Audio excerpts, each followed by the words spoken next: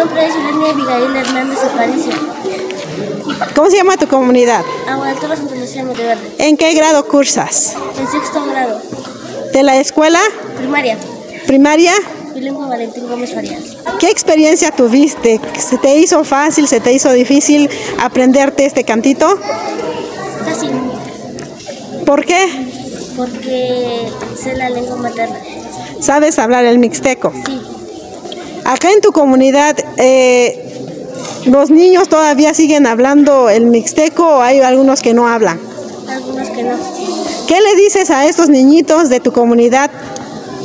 Este, que lo hablen, que lo practiquen. Y pues que lo hablen con sus papás, que les enseñen a sus papás a hablar de mixteco. ¿Y qué le dices a los niños que sí hablan el mixteco, como tú y como otros compañeros tuyos que sí hablan el mixteco? Pues lo sigan este, repasando para que no se les olvide la lengua materna. Y pues que le, y si hay unos niños que no, que no saben la lengua materna, que les ayude a, este, a hablarlo.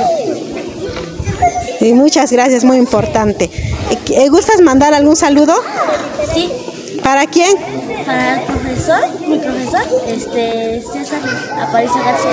Y también para mi mamá, este, Paulina Hilaria Aparicio Santiago, que está en Agua del Toro. Y también de parte de mi hermana Minerva Alcel, que se encuentra en, la, en Tlaxiaco. Ok.